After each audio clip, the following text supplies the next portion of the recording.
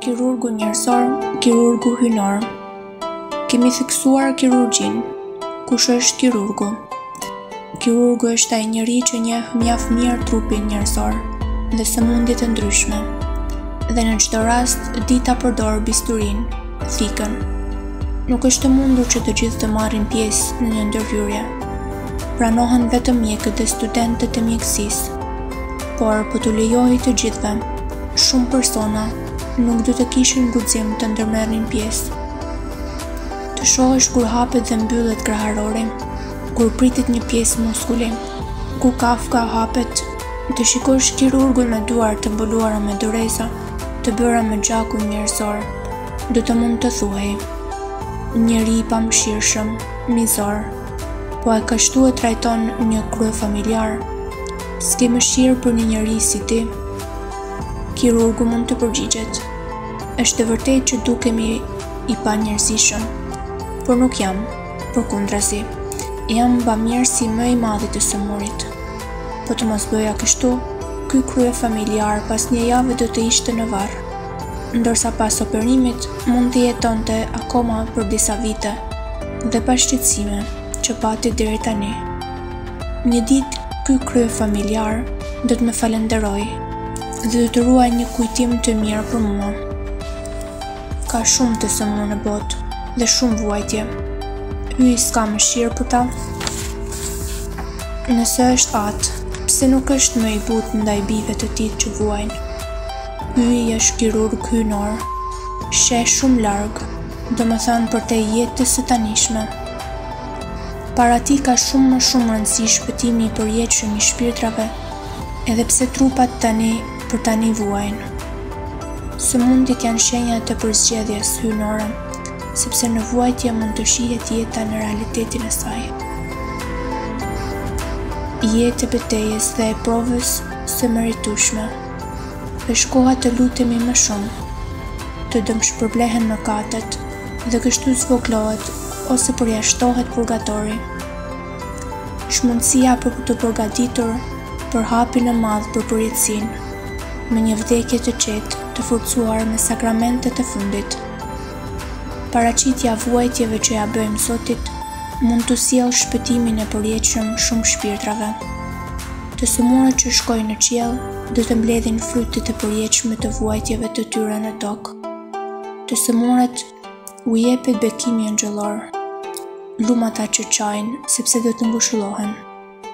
Ashtu si një kryefamiljar që i është nënshtruar një ndërhyrjeje të vështirë dhe ka rimarrë shëndetin, nuk i kujton më vuajtjet dhe dhimbjet dhe thërret, qofshin bekuar duart e atij kirurgu, që më kthyen shëndetin. Kështu të sëmurët, të pranuar në parajsë, të pasur me merita, do të thonë, o Hyj, faliminderit, tani e kuptojmë se kemi qenë të përzgjedhur dhe jo të dënuar.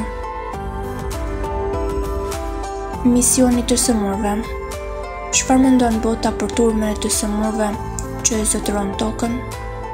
Bota është tërësia e atyre që e mohojnë jetën tjetër dhe ndjekin mësime që i kundërshtojnë mësimet e Ungjillit. Jezusi ka thënë, Nuk lutem për botën. Bota do atë që është e saj dhe vlerëson vetëm jetën e tanishme. Turma e të sëmurëve për botën s'ka asnjë vlerë. Përkundrazi, i padit për telashet, Dhe do të ishte më mirë që ata të mos ishin. Njerëzit e tillë në botë kërkojnë miratimin e ligjit të quajtur eutanasi, i cili lejon që të sëmurët rëndë, të pashërueshmit dhe të moshuarit të vriten me një injeksion vdekjeprurës. Kështu e mendojnë njerëzit e ligj dhe të pa zot, njerëzit që janë të verbër në shpirt. Krejtësisht ndryshe mendojnë njerëzit që e kanë dritën e fesë. Të sëmurët janë bamirësit e mëdhenj të njerëzimit. Është e vërtetë që materialisht nuk mund të japin shumë, sepse gjymtyrët e sëmura nuk mund të punojnë, por ata japin shumë shpirtërisht për veten dhe për të tjerët. Në lidhje me njerëzimin, të sëmurët janë si rrënjët që janë në lidhje me pemën. Sa vuajtje janë kushtuar Zotit për të shpërblyer mëkatet e botës, të cilat e tërheqin mëshirën e Hyjit mbi njerëzimin mëkatar.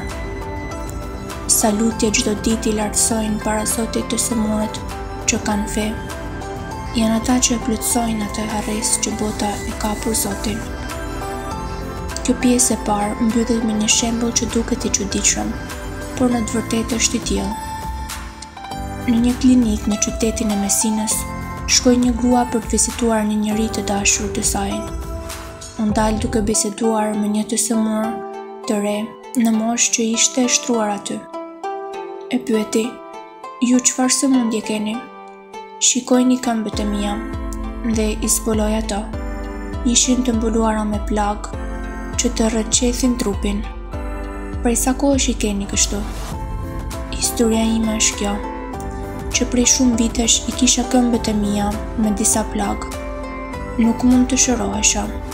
Shkova në Lurd, u luta me besim dhe u shërova.